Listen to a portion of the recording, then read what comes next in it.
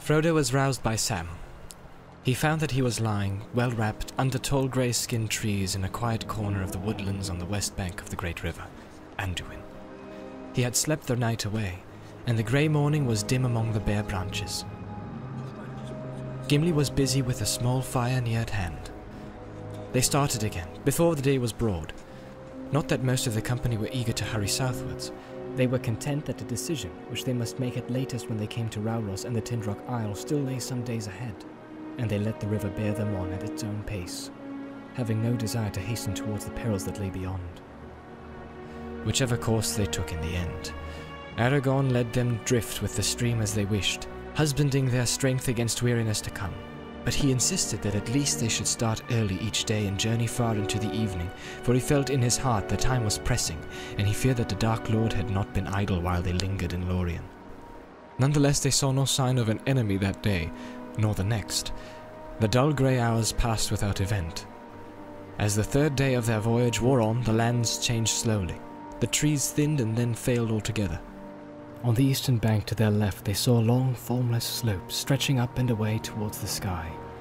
Brown and withered they looked, as if fire had passed over them, leaving no living blade of green, and unfriendly waste without even a broken tree or a bold stone to relieve the emptiness. They had come to the brown lands that lay, vast and desolate, between southern Mirkwood and the hills of the Muil. What pestilence or war or evil deed of the enemy had so blasted all that region even Aragorn could not tell. Upon the west to their right, the land was treeless also, but it was flat, and in many places green with wide plains of grass. On this side of the river they passed forests of great reeds, so tall that they shut out all view to the west, as the little boats went rustling by along their fluttering borders, their dark withered plumes bent and tossed in the light cold airs, hissing softly and sadly. Here and there through openings, Frodo could catch sudden glimpses of rolling meads, and far beyond them hills in the sunset, and away on the edge of sight a dark line, where marched the southernmost ranks of the misty mountains. There was no sign of living, moving things save birds. Of these there were many, small fowl whistling and piping in the reeds, but they were seldom seen. Once or twice the travellers heard the rush and whine of swan wings, and looking up they saw a great phalanx streaming along the sky. Swans! said Sam. And mighty big ones too! Yes, said Aragorn. And they are black swans. How wide and empty and mournful all this country looks, said Frodo. I always imagined that as one journeyed south it got warmer and merrier, until winter was left behind forever. We have not journeyed far south yet, answered Aragorn. It is still winter, and we are far from the sea. Here the world is cold until the sudden spring, and we may yet have snow again. Far away down in the Bay of Belfalas, to which Anduin runs, it is warm and merry, maybe. Or would be, but for the enemy. But here we are not above sixty leagues, I guess, south of the South Farthing away in your shire. Hundreds of longer miles yonder. You are looking now southwest across the north plains of the Riddermark. Rohan, the land of the Horse Lords. Ere long we shall come to the mouth of the Limlight that runs down from Fangorn to join the great river. That is the north boundary of Rohan. And of old, all that lay between Limlight and the White Mountains belonged to the Rohirrim. It is a rich and pleasant land, and its grass has no rival. But in these evil days, folk do not dwell by the river, or ride often to its shores.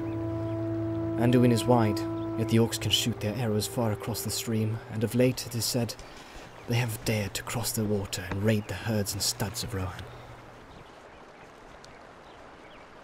Sam looked from bank to bank uneasily. The trees had seemed hostile before, as if they harbored secret eyes and lurking dangers. Now he wished that the trees were still there. He felt that the company was too naked, afloat in the little open boats in the midst of shelterless lands, and on a river that was the frontier of war. In the next day or two, as they went on, borne steadily southwards, this feeling of insecurity grew on all the company. For the whole day they took to their paddles and hastened forward. The banks slid by. Soon the river broadened and grew more shallow, Long stony beaches lay upon the east, and there were gravel shoals in the water, so that careful steering was needed. The brown lands rose into bleak wolds, over which flowed a chill air from the east. On the other side, the meads had become rolling downs of withered grass amid the land of fen and tussock. Frodo shivered, thinking of the lawns and fountains, the clear sun and gentle rains of Lothlorien. There was little speech and no laughter in any of the boats. Each member of the company was busy with his own thoughts. The heart of Legolas was running under the stars of a summer night in some northern glade amid the beech woods. Gimli was fingering gold in his mind and wondering if it were to fit to be wrought into the housing of the lady's gift. Merry and Pippin in the middle boat were ill at ease, for Boromir sat muttering to himself, sometimes biting his nails, as if some restlessness or doubt consumed him, sometimes seizing a paddle and driving the boat close behind Aragorn's. Then Pippin, who sat in the bow looking back, caught a queer gleam in his eye as he peered forward, gazing at Frodo. Sam had long ago made up his mind that, though boats were maybe not as dangerous as he'd been brought up to believe, they were far more uncomfortable than even he had imagined. He was cramped and miserable, having nothing to do but stare at the winterlands crawling by and the grey water on either side of him. Even when the paddles were in use, they did not trust Sam with one. As dusk grew down on the fourth day, he was looking back over the bowed heads of Frodo and Aragorn and the following boats. He was drowsy and longed for camp and the feel of earth under his toes. Suddenly, something caught his sight. At first, he stared at it listlessly. Then he sat up and rubbed his eyes. But when he looked again, he could not see it any more. That night, they camped on a small eyot close to the western bank. Sam lay rolled in blankets beside Frodo. I had a funny dream an hour or two before we stopped, Mr. Frodo. He said, Or maybe it wasn't a dream. Funny it was anyway. Well, what was it? said Frodo, knowing that Sam would not settle down until he had told his tale, whatever it was. I haven't seen or thought of anything to make me smile since we left Lothlorien. It wasn't funny that way, Mr. Frodo. It was queer. All wrong if it wasn't a dream. And you had best hear it. It was like this. I saw a log with eyes. The log's all right, said Frodo. There are many in the river. But leave out the eyes. That I won't! 'Twas the eyes that made me sit up, so to speak. I saw what I took to be a log floating along in the half light behind Gimli's boat, but I didn't give much heed to it. Then it seemed as if the log was slowly catching up. And that was peculiar, as you might say, seeing as we were all floating on the stream together. Just then I saw the eyes. Two pale sort of points, shiny like, on a hump at the near end of the log. What's more, it wasn't a log, for it had paddle feet, like a swan's almost, only they seemed bigger, and kept dipping in and out of the water. That's when I sat right up and rubbed my eyes, meaning to give a shout, if it was still there when I had rubbed the drowse off out of my head. For the whatever it was was coming along fast now and getting close behind Gimli. But whether those two lamps spotted me moving and staring, or whether I came to my senses, I don't know. When I looked again, it wasn't there. Yet I think I caught a glimpse, with the tail of my eye, as the saying is, something dark shooting under the shadow of the bank. I couldn't see no more eyes, though. I said to myself, dreaming again, Sam Gamgee, I said. And I said no more just then. But I've been thinking since, and I'm not so sure. What do you make of it, Mr. Frodo? I should make nothing of it but a log in the dusk and the sleep in your eyes, Sam, said Frodo. If this was the first time that those eyes had been seen. But it isn't. I saw them way back north before you reached Lorien. And I saw a strange creature with eyes climbing to the flat that night. Haldir saw it too. And do you remember the report of the elves that went after the Orc band? Ah, said Sam. I do. And I remember more too. I don't like my thoughts, but thinking of one thing and another and Mr. Bilbo's stories and all, I fancy I could put a name on the creature. At a guess. A nasty name. Gollum. Maybe? Yes, that is what I feared for some time, said Frodo. Ever since the night on the flat. I suppose he was lurking in Moria. and picked up our trail then. But I hoped that our stay in Lorien would throw him off the scent again. The miserable creature must have been hiding in the woods by the silver lode, watching us start off, That's about it. said Sam. And we better be a bit more watchful ourselves, or we'll feel some nasty fingers around our necks one of these nights, if we ever wake up to feel anything. And that's what I was leading up to. No need to trouble Strider or the others tonight. I'll keep watch. And I can sleep tomorrow, being no more than luggage in a boat, as you might say. I might, said Frodo, and I might say luggage with eyes. You shall watch, but only if you promise to wake me halfway towards the morning if nothing happens before then. In the dead hours, Frodo came out of a deep dark sleep to find Sam shaking him. It's a shame to wake you, Whispered Sam. but that's what you said. There's nothing to tell. Or not much. I thought I heard some soft splashing and a sniffing noise a while back. But you hear a lot of such queer sounds by a river at night. He lay down and Frodo sat up, huddled in his blankets, and fought off his sleep. Minutes or hours passed slowly, and nothing happened. Frodo was just yielding to the temptation to lie down again when a dark shape, hardly visible, floated close to one of the moored boats. A long whitish hand could be dimly seen as it shot out and grabbed the gunwale. Two pale lamp-like eyes shone coldly as they peered inside, and then they lifted and gazed up at Frodo on the eyot. They were not more than a yard or two away, and Frodo heard the soft hiss of intaken breath. He stood up, drawing Sting from his sheath, and faced the eyes. Immediately their light was shut off.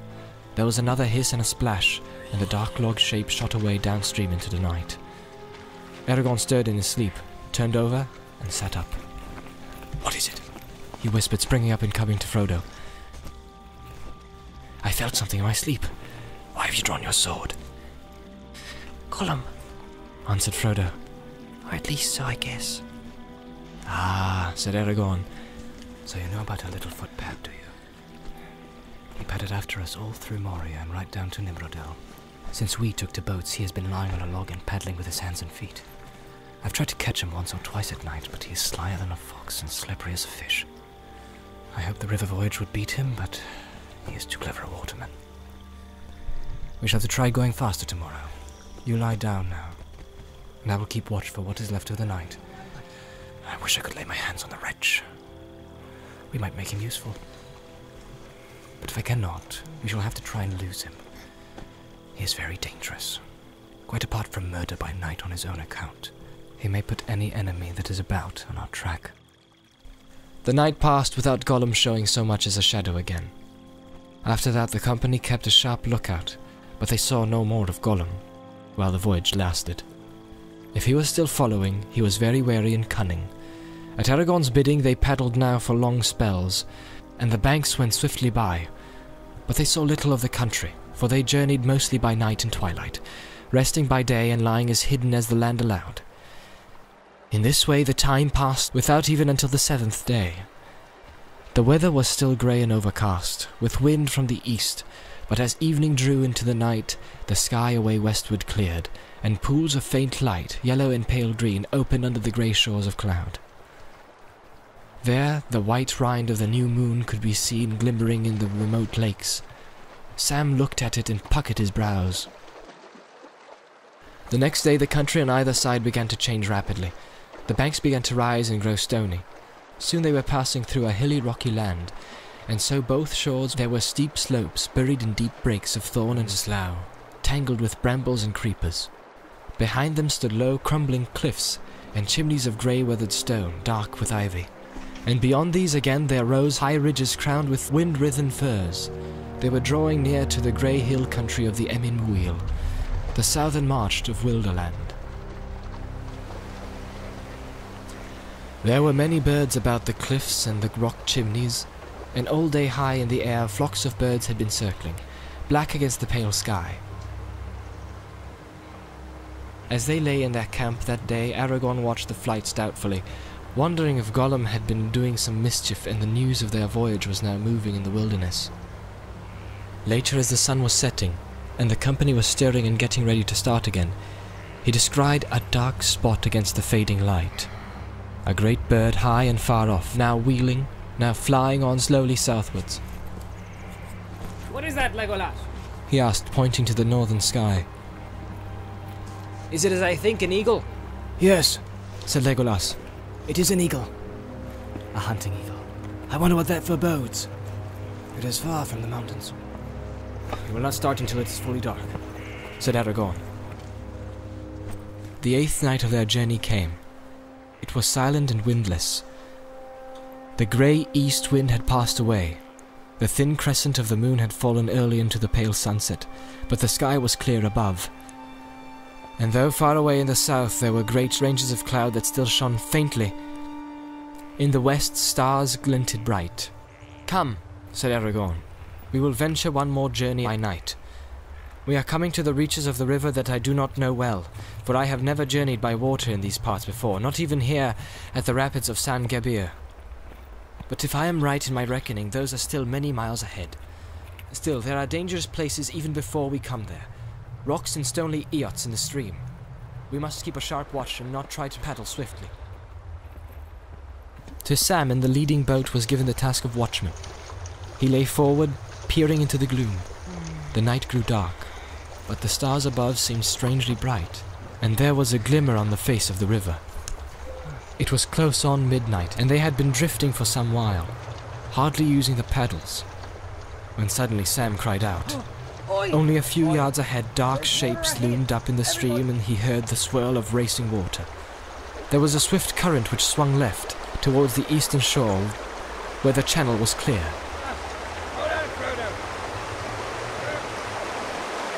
As they were swept aside, the travellers could see, now very close, the pale foam of the river lashing against sharp rocks that were thrust out far into the stream like a ridge of teeth. The boats were all huddled together, shouted Boromir as his boat bumped into the leader.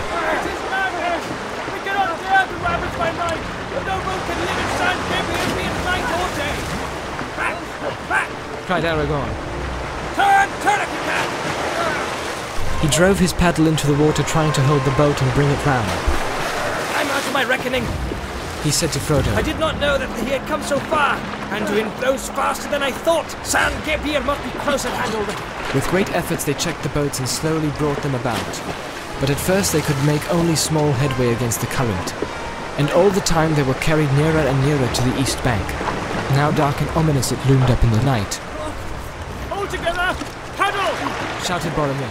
Paddle or we shall be shoals! Even as he spoke, Frodo felt the keel beneath him grate upon stone. At that moment there was a twang of bowstrings. Several arrows whistled over them, and some fell among them. One smote Frodo between the shoulders, and he lurched forward with a cry, letting go his paddle, but the arrow fell back, foiled by his hidden coat of mail. Another passed through Aragorn's hood, and a third stood fast in the gunwale of the second boat, close by Merry's hand. Sam thought he could glimpse black figures running to and fro upon the long single banks that lay under the eastern shore. They seemed very near, Here! said Legolas, falling into his own tongue. Orcs! Cried Gimli, Gollum's doing up and bound! said Sam to Frodo. And a nice place to choose to. The river seems set on taking us right into their arms. They all leaned forward, straining at the paddles. Even Sam took a hand. Every moment they expected to feel the bite of black feathered arrows. Many whined overhead, or struck the water nearby. But there were no more hits. It was dark, but not too dark for the night eyes of orcs. And in the star glimmer they must have offered their cunning foes some mark. Unless it was that the grey cloaks of Lorien and the grey timber of the elf-wrought boats defeated the malice of the archers of Mordor. Stroke by stroke they laboured on, in the darkness it was hard to be sure that they were indeed moving at all, but slowly the swell of the water grew less, and the shadow of the eastern bank faded back into the night. At last, as far as they could judge, they had reached the middle of the stream again and had driven their boats back some distance above the jutting rocks. Then, half turning, they thrust them with all their strength towards the western shore. Under the shadow of bushes leading out over the water, they halted and drew breath. Legolas laid down his paddle and took up the bow that he had brought from Lorien. Then he sprang ashore and climbed a few paces up the bank. Stringing the bow and fitting an arrow, he turned, peering back over the river into the darkness. Across the water there were shrill cries, but nothing could be seen. Frodo looked up at the elf standing tall above him as he gazed into the night, seeking a mark to shoot at. His head was dark, crowned with sharp white stars that glittered in the black pools of the sky behind. But now, rising and sailing up from the south, the great clouds advanced, sending out dark outriders to the starry fields. A sudden dread fell on the company. Sighed Legolas as he looked up. Even as he did so, a dark shape, like a cloud and yet not a cloud, for it moved far more swiftly, came out of the blackness in the south and sped towards the company, blotting out all light as it approached. Soon it appeared as a great winged creature, blacker than the pits in the night. Fierce voices rose up to greet it from across the water. Frodo felt a sudden chill running through him and clutching at his heart.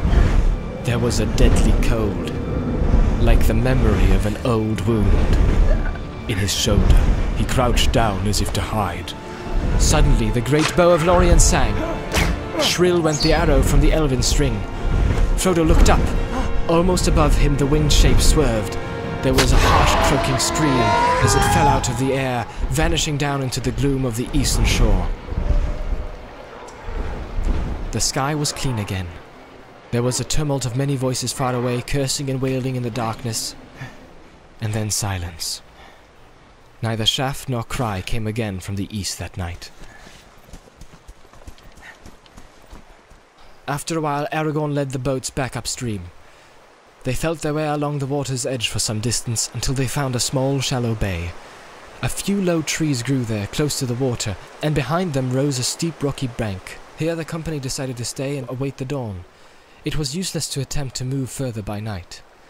They made no camp and lit no fire, but lay huddled in the boats, moored close together. Praised be the bow of Galadriel, and the hand and eye of Legolas. said Gimli as he munched a wafer of lembas. That was a mighty shot in the dark, my friend. But who can say what it hit? said Legolas. Hmm. I cannot, Said Gimli. but I am glad that the shadow came no nearer. I liked it not at all. Too much it reminded me of the shadow in Moria, the shadow of the Balrog. He ended in a whisper, It was not a Balrog. said Frodo, still shivering with the chill that had come upon him. It was something colder. I think it was. Then he paused and fell silent. What do you think? asked Boromir eagerly, leaning from his boat as if he was trying to catch a glimpse of Frodo's face. I think. No. I will not say, answered Frodo. Whatever it was, its fall has dismayed our enemies. So it seems, said Aragorn. Yet where they are, and how many, and what they will do next, we do not know. This night we must all be sleepless. Dark hides us now. But what the day will show, who can tell? Have your weapons close to hand. Sam sat tapping the hilt of his sword as he were counting on his fingers and looking up at the sky. It's very strange. He murmured, The moon's the same in the Shire and in Wilderland, or it ought to be. But either it's out of its running, or I'm all wrong in my reckoning. You remember, Mr. Frodo, the moon was waning as we lay on the flat up in that tree. A week from the full, I reckon. And we'd been a week on the way last night when oh, up pops a new moon as thin as a nail paring. As if we had never stayed no time in the Elvish country. Well, I can remember three nights there for certain, and I seem to remember several more. But I would take my oath that it was never a whole month. Anyone would think that time did not count in there. And perhaps that was the way of it, said Frodo. In that land, maybe, we were in a time that was elsewhere long gone by. It was not, I think, until Silverlode bore us back to the Anduin that we returned to the time that flows through mortal lands, to the great sea. And I don't remember any moon, either new or old, in Caras Galadhon. Only stars by night and sun by day.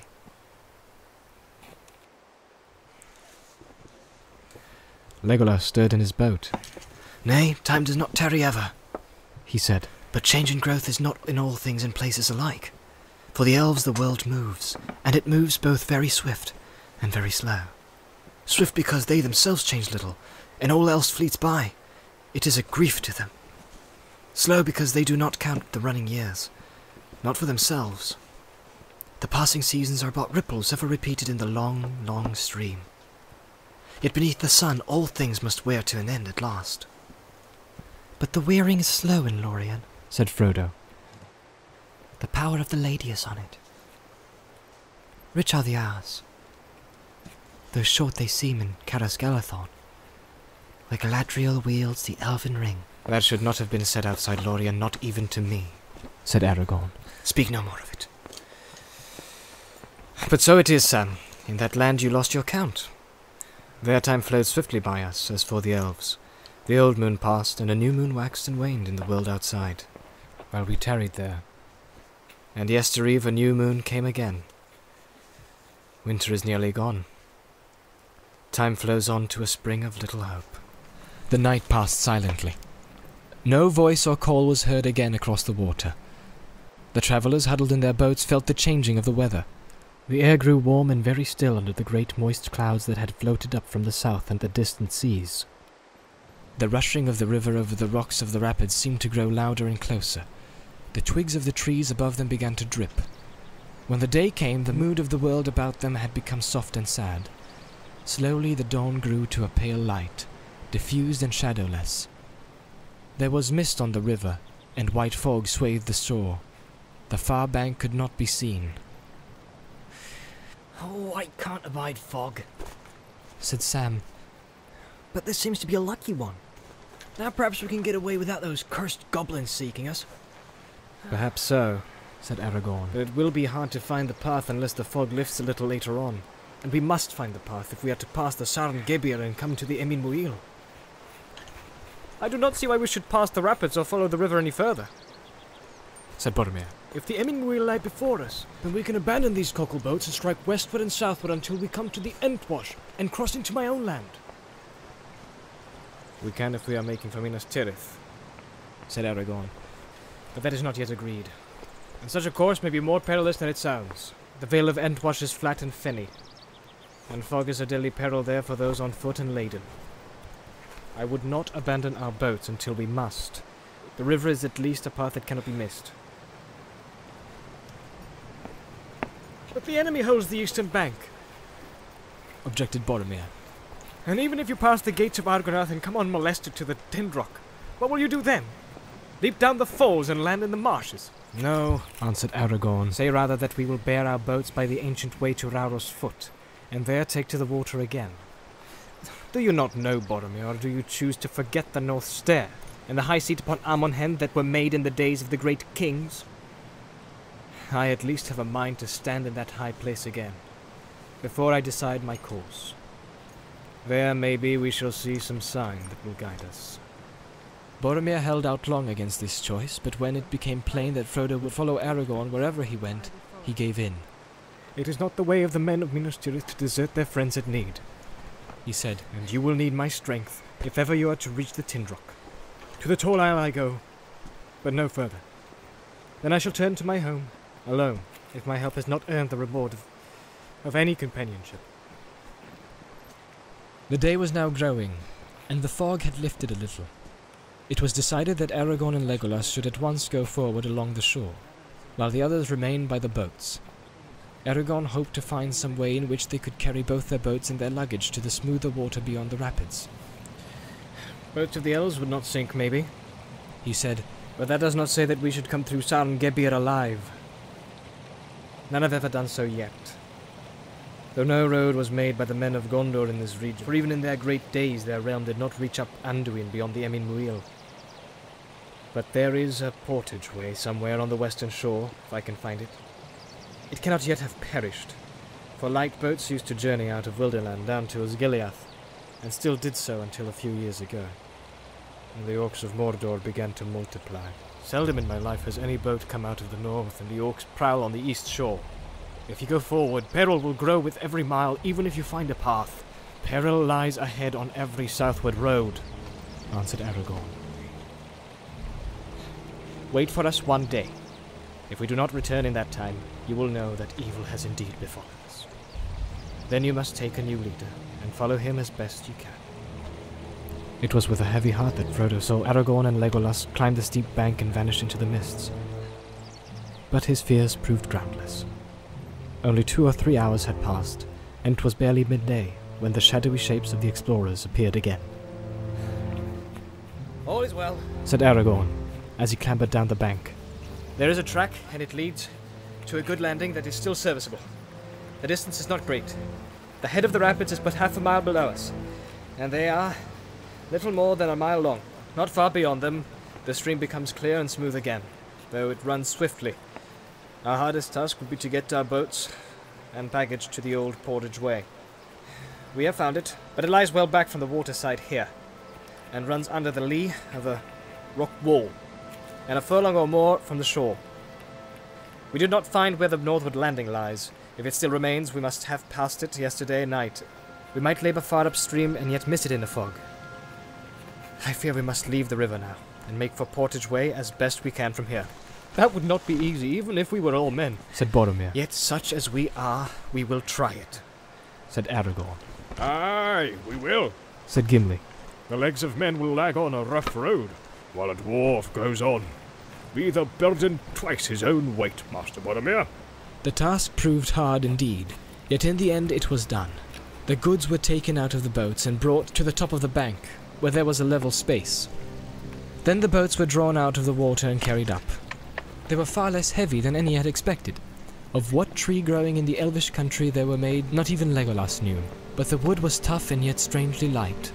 Merry and Pippin alone could carry their boat with ease along the flat. Nonetheless, it needed the strength of the two men to lift and haul them over the ground that the company now had to cross. It sloped up away from the river, a tumbled waste of grey limestone boulders, with many hidden holes shrouded with weeds and brushes. There were thickets of brambles and sheer dells, and here and there boggy pools fed by waters trickling from the terraces further inland. One by one, Boromir and Aragorn carried the boats, while the others toiled and scrambled after them with the baggage. At last all was removed and laid on the portage way. Then, with little further hindrance save from sprawling briars and many fallen stones, they moved forward altogether. Fog still hung in veils upon the crumbling rock wall, and to their left mist shrouded the river. They could hear it rushing and foaming over the sharp shells and stony teeth of Sarn Gebir, but they could not see it. Twice they made the journey, before all was brought safe to the southern landing. There the portage way, turning back to waterside, ran gently down to the shallow edge of a little pool. It seemed to have been scooped in the riverside not by hand, but by the water swirling down from Sarn Gebir against a low pyre of rock that jutted out some way into the stream. Beyond it the shore rose sheer into a grey cliff, and there was no further passage for those on foot. Already the short afternoon was past, and a dim cloudy dusk was closing in. They sat beside the water listening to the confused rush and roar of the rapids hidden in the mist. They were tired and sleepy, and their hearts were as gloomy as the dying day, Well, here we are, and here we must pass another night. said Boromir. We need sleep, and even if Aragorn had a mind to pass the gates of Argonath by night, we are all too tired. Except, uh, no doubt, uh, our sturdy dwarf. Gimli made no reply. He was nodding as he sat. Let us rest as much as we can now, Said Aragorn. Tomorrow we must journey by day again, unless the weather changes once more and cheats us. We shall have a good chance of slipping through unseen by any eyes of the eastern shore. But tonight two must watch together in turns, three hours off and one on guard. Nothing happened that night worse than a brief drizzle of rain an hour before dawn. As soon as it was fully light, they started. Already the fog was thinning. They kept as close as they could to the western side, and they could see the dim shapes of the low cliffs rising ever higher, shadowy walls with their feet in the hurrying river. In the mid morning, the clouds drew down lower, and it began to rain heavily. They drew the skin covers over their boats to prevent them from being flooded, and drifted on. Little could be seen before them or about them, through the grey falling curtains. The rain, however, did not last long. Slowly the sky above grew lighter, and then suddenly the clouds broke, and their draggled fringes trailed away northward up the river. The fogs and mists were gone. Before the travellers lay a wide ravine, with great rocky sides to which clung, upon shelves and in narrow crevices, a few thorn trees. The channel grew narrower, and the river swifter. Now they were speeding along with little hope of stopping or turning, whatever they might meet ahead. Over them was a lane of pale blue sky, around them the dark overshadowed river, and before them, black, shutting out the sun, the hills of Emyn Muil, in which no opening could be seen. Frodo, peering forward, saw in the distance two great rocks approaching. Like great pinnacles or pillars of stone, they seemed. Tall and sheer and ominous they stood upon either side of the stream. A narrow gap appeared between them, and the river swept the boats towards it. Behold the Argonath, the pillars of the kings, cried Aragorn. Keep the boats in line and as far apart as you can. Hold the middle of the stream. As Frodo was borne towards them, the great pillars rose like towers to meet them. Giants they seemed to him, vast grey figures, silent but threatening. Then he saw that they were indeed shaped and fashioned. The craft and power of old had wrought upon them, and still they preserved through the suns and rains of forgotten years the mighty likenesses in which they had been hewn. Upon great pedestals founded in the deep waters stood two great kings of stone. Still, with blurred eyes and crannied brows, they frowned upon the north.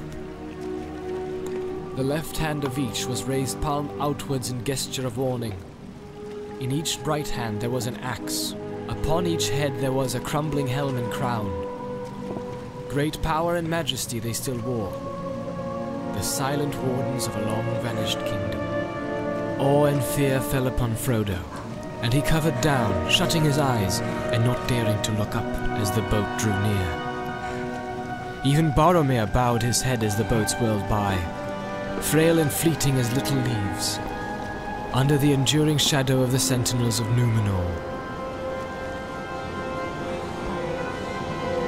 So they passed into the dark chasm of the gates. Sheer rose the dreadful cliffs to unguessed heights on either side. Far off was the dim sky. The black waters roared and echoed, and a wind screamed over them. Frodo, crouching over his knees, heard Sam in front muttering and groaning. What a place. What a horrible place. Just let me get out of this boat and I'll never wet my toes in a puddle again, let alone a river. Fear not, said a strange voice behind him. Frodo turned and saw Strider, and yet not Strider. For the weather-worn ranger was no longer there. In the stern sat Aragorn, son of Arathorn, proud and erect, guiding the boat with skillful strokes. His hood was cast back, and his dark hair was blowing in the wind. A light was in his eyes, a king returning from exile to his own land. Fear not. He said, Long have I desired to look upon the likenesses of Isildur and Anarion, my sires of old. Under their shadow, Elessar the Elfstone, son of Arathorn of the house of Valandil, Isildur's son, heir of Elendil, has naught to dread. The light of his eyes faded and he spoke to himself. Would that Gandalf were here. How my heart yearns for Minas Anor and the walls of my own city.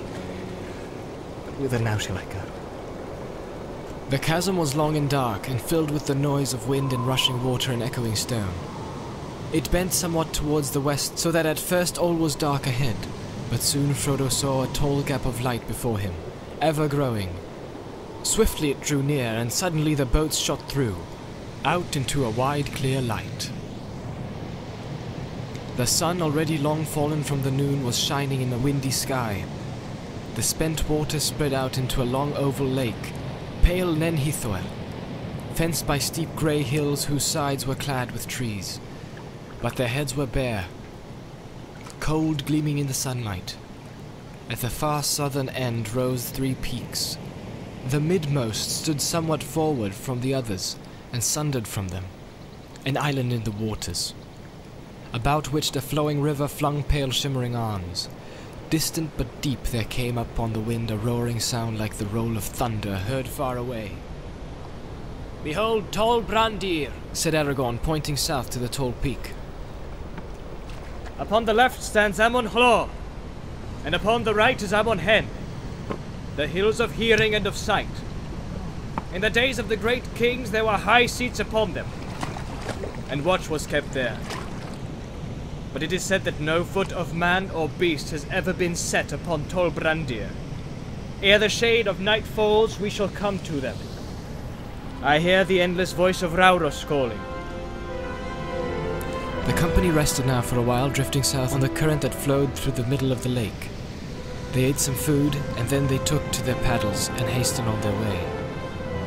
The sides of the westward hills fell into shadow, and the sun grew round and red. Here and there a misty star peered out. The three peaks loomed before them, darkling in the twilight. Rauros was roaring with a great voice. Already night was laid on the flowing waters. When the travellers came at last under the shadow of the hills. The tenth day of their journey was over. Wilderland was behind them. They could go no further without choice between the east way and the west. The last stage of the quest was before them.